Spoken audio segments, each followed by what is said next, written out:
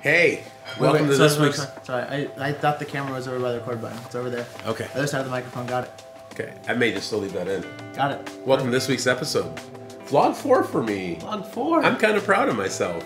it's rookie numbers. I know. Rookie numbers. Hey, uh, in Liverpool this week, and I'm with my son Nate, who does not live here. So I didn't lie to the immigration officer last night when I came in and saying I'm meeting my son because she said, "Does he live here?" And I'm like, "No, not No, really." he's just hiding from the Spanish He's just government. hiding from the Spanish government for a little bit. That's me.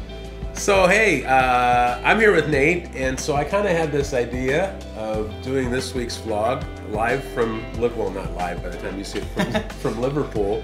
It's live for me. Yeah, because last week was so. Last week I don't know if you saw it, but I, I did the hey, I'm on my way to Spain, kind of talking through the journey step by step, Yeah. and now I'm beginning the journey home. But I'm stopping to see here. But the cool news is I get to see Nate in just a few weeks. Yeah. So in a, in a couple weeks, we're actually, as the as half of our family now lives abroad overseas. Um, Crazy. We uh, we're meeting in Paris for Christmas because dreams do come true. So, travel hacking, which I'm sure I'll have a whole episode at some point about three things that you could do to get your first free airplane ticket because it's closer than you think. But for this week, uh, I kind of had two ideas about what we could do for this vlog. Uh, you know, one was that we could sit in the background and create this really nifty idea of like, you know, what was the message or discussion we really want to. But that's not really our family. We just kind of go for it, right? Is that fair? Yeah. Which is why Nate's in Liverpool, right? Yeah. Which is why I'm living in Liverpool. Which is all good. So I decided for option two was just take a couple minutes and uh, this is weird for me as a dad, but I'm sitting here just having a conversation in Liverpool with my son, who I dropped in on while I was working in Europe this past week. That's kind of cool. Yeah. Didn't think that's where we'd be uh, back in my homeschool days. Homeschool, ah, homeschool. Homeschool. We, uh, yeah. Uh, but anyways, if you're new to this channel, this is my son Nate, my, my eldest, my only son, who uh, is in a great position because he not only gets to hear again and again, you're my favorite son. I'm the youngest of five guys, five boys. So they all say that I was the favorite, and that's probably accurate. I, I accept it now. If any of my brothers are watching, I, I, like I said, I just acknowledge that truth. Don't play. Don't hate the player. Hate the game. That's right. But uh, it's also his wife Sarah is my favorite daughter-in-law, so it's like a twofer.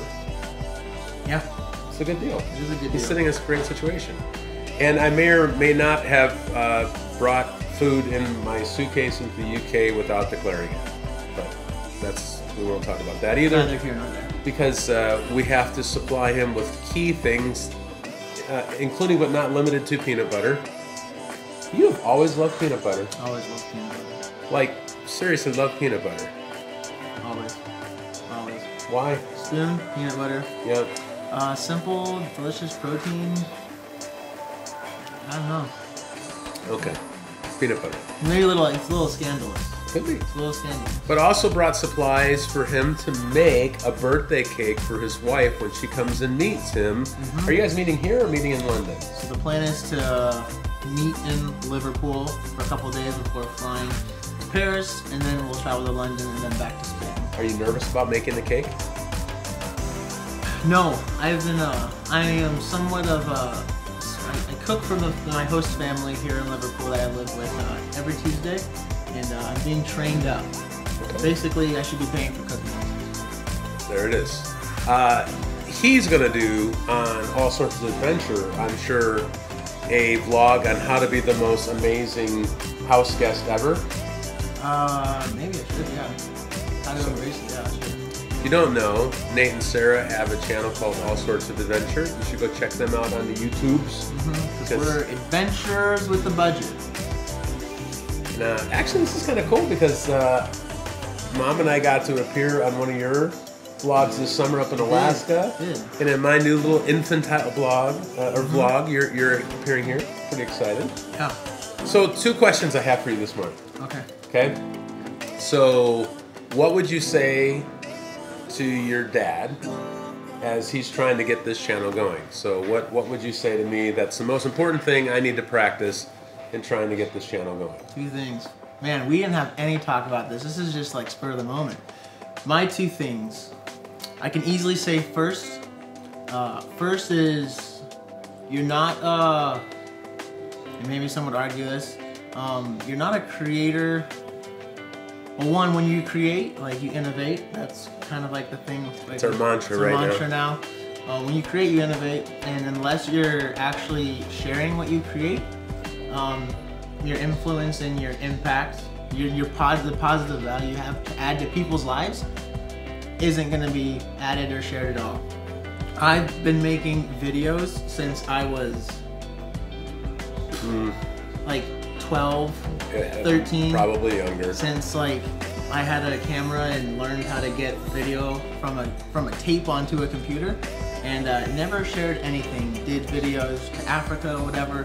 Point being, like I didn't share any of that with anybody.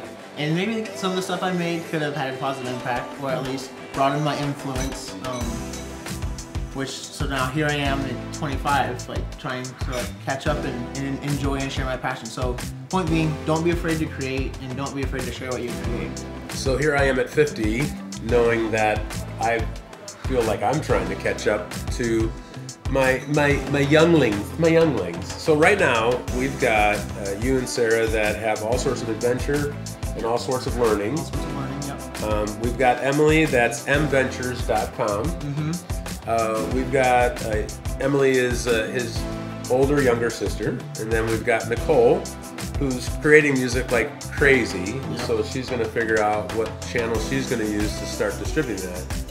Um, so this is my second question. What's your favorite part about creating? I don't think I answered my second. Did I answer both parts of that question? Yeah. Well, no, no, no. You answered the two things that, about that, but I'm saying second question is what do you love about creating?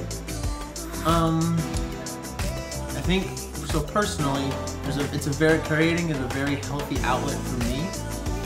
Um, there's just I don't I don't think you can. I think creating allows you to get a maybe like a little bit of higher satisfaction that you can't get from anything else. Like when you like when you create, you have the potential to add value. Like when you innovate, it's not like it's cheesy, but you have the potential to add value to other people because of an idea you had and you made a reality. Mm. So, like, like creating, innovating, like light bulb, telephone, like I mean Facebook, whatever. Like, like granted, I know Zuckerberg shenanigans. Maybe don't, maybe don't sell myself short. I got time, but um, when you create, you innovate, and not only impact your own life, but you can potentially positively impact the lives of others. That's pretty powerful. So when they were kids, we had the in, in our homeschool environment that readers were, Leaders, writers were igniters, igniters, yeah, gamers, lamers. trying to keep them from Sorry. not playing too many games. So if you're a gamer, it, was it was about focus with Yeah. school. So don't don't send too much hate on them. But uh, so I like this creators and innovators. I like this. Is, It's, it's kind of going with the theme. it is going with the theme. So, uh, sitting here, uh, coming to you from Liverpool this week with mi hijo. I just came from Spain, so Spanish is really, really on my mind. Um, I'm excited about Christmas. I'm stoked about Christmas. So, right now, this week, we had four of the six of us in Europe. So, we just had two of the six that had they joined us this week, we would have all been over here. Uh, at one moment, we were in four different countries, and then it was just three different countries. Now it'll just still be three, but then it's three, three, three in the U.S., three in Europe. But in just a few short weeks, we'll all be in Europe. A lot to share in one day. There's a lot of things here. Good stuff. Creating. Um, By the way, uh, if you're interested, the reason why I'm going to create the video on travel hacking, the round trip airfare for my wife Annalie, my daughter Nicole, and I to get to Paris was $83 a ticket. back Fact. So, from the United States, yeah. yeah, from the United States Big deal. to Charles de Gaulle. Big deal. Yeah, that that makes travel affordable. Got an Airbnb for a thousand bucks for the week for six of us, which I think was pretty amazing Yeah. Over Christmas, over Christmas. New Year's. But so, Any last words? Um, I don't think so. This is good. This is good. Yeah, It's a good time. it's a good time. I'm kind of excited. It's only Monday. I've got this week's vlog shot. I'm, I don't do a whole lot of editing if you haven't figured that out. and so, from me to my 11 subscribers, 11. I'm up to 11. Good. Good. kind of excited. I think there's definitely more people watching my YouTube videos than reading my blog. Yeah. It's it's the way life is. So live from Liverpool, back to you in the studio. Adios. El Wiedersehen. Do widzenia. Bye. Ciao.